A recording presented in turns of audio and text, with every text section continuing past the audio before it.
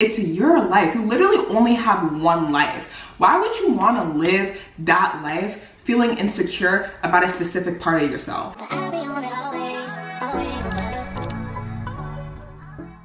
Hi beautiful, welcome back to my channel. It's just Onyi here and I am back with another video.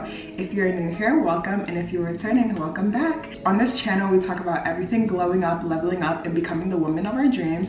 If that sounds like videos you love to watch, make sure you subscribe to this channel and turn on my post notifications so you never miss a video. And without further ado let's just hop right on into this video. On today's video this will be sort of a continuation of my last glowing up video on my last Glowing Up video, I talked a little bit about the importance of why you should start your glow up journey. We had some great conversations in the comments and I just wanted to piggyback off of those conversations. I feel like women, we are expected to invest into everybody else and pour into everybody else but when it comes to pouring into ourselves, investing into ourselves, people try to shame us for it. In the media, growing up high maintenance was frowned upon. For example, I know like growing up when I was a kid, you would see high maintenance women or women who constantly invested into their looks and beauty they were always seen as like the villain or the dumb friend. An example of this was Sharpay Evans or London Tipton, for example. Like those are characters that we saw growing up that were typically made the villain of the story. For, and we saw this a lot in movies. You would see like in movies, the high maintenance, beautiful woman was always the mean girl.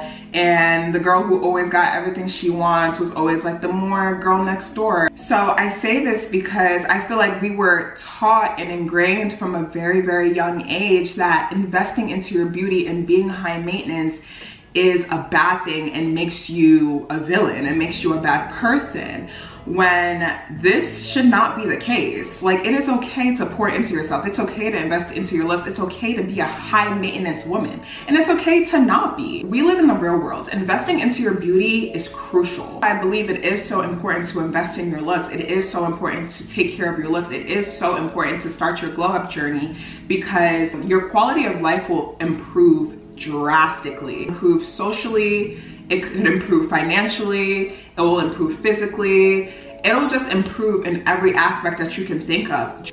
When it comes to women of color especially, I just want to remind us that just because you prioritize your looks and you actually care about how you are perceived in day-to-day -day society, that does not make you vain okay? That does not make you vain. That does not make you shallow. That does not mean you idolize beauty. People will come under my video and say things like, beauty isn't the only thing that matters, other things matter, da da da.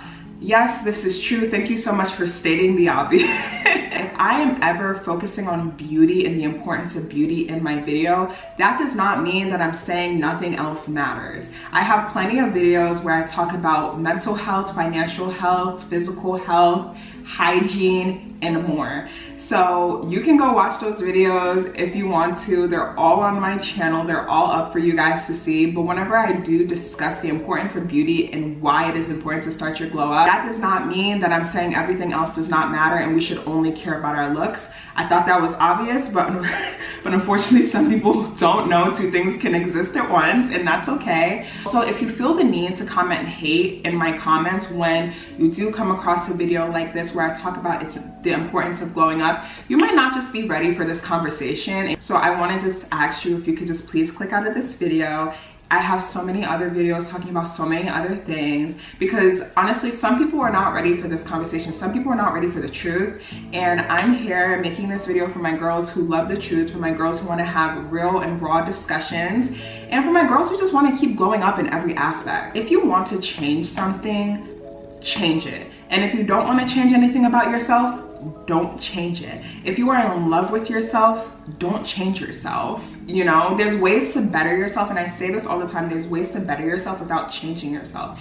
And if you want to change anything for yourself, if you have anything that you just don't like about yourself or any insecurities, don't feel bad for wanting to change it. It's your life. You literally only have one life. Why would you want to live that life feeling insecure about a specific part of yourself? You know what I mean? use this life to feel the best you ever want to feel. Be safe about it, but if you want to change something about yourself, change it. This isn't for my young girls. If you are under the age of 21, grow into your face, grow into your body, grow into yourself before you start going ahead and trying to change things. For my girls who are older, if you feel like, dang, I don't really like this part of myself, like I really do want to change it, literally do it and don't feel bad about it and don't let anyone guilt you for, for investing into yourself cosmetically. Don't let anyone guilt you for investing into your looks and your beauty because at the end of the day, it's your life and you can do whatever you want with it. I want the girls to stop thinking it's okay to body shame women with cosmetic procedures or cosmetic enhancements. Body shaming is body shaming no matter what. In today's day and age, it is so normalized to body shame women with cosmetic enhancements. Like, I will go under a beautiful woman's page and I'll just see so many disgusting comments of people talking about like if she has any cosmetic enhancements say she has her lips done or she maybe has botox or maybe has you know her breasts done or lipo you know i'll just see so many disgusting comments of people being like oh you look too fake you look this you look that even though those people would never make those comments to her in real life I just think it's so heartbreaking because you never know what someone is going through. It's, even if they were botched, no one wants to be botched. Like I think people tend to forget this. No one wants to be botched. Like people spend thousands of dollars, go through so much crap when it comes to like recovering from a surgery that no one is intentionally out here trying to be botched. So when you go under someone's comment section and you're like, oh my God, your body looks crazy, you got botched. Like that's body shaming. That's horrible and that makes you a loser if you do that. Like it's disgusting. I'm just bringing this up because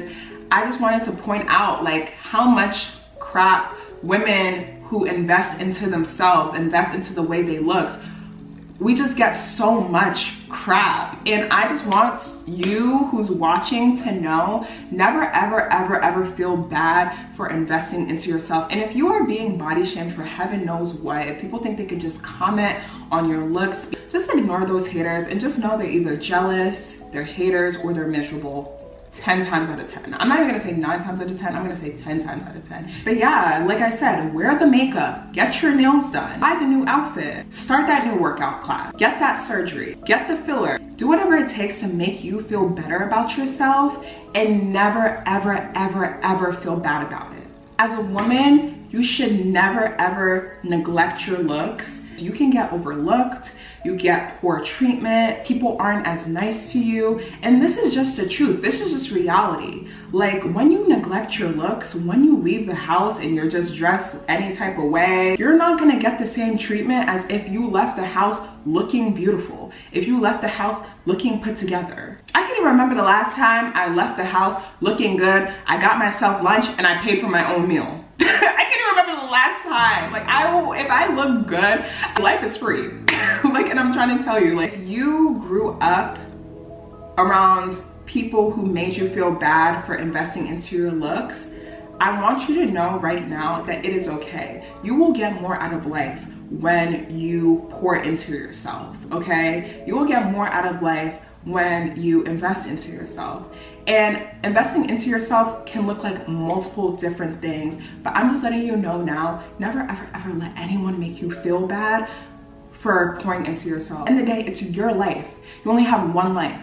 You only have one life. So spend that life feeling and looking like the woman of your dreams, okay?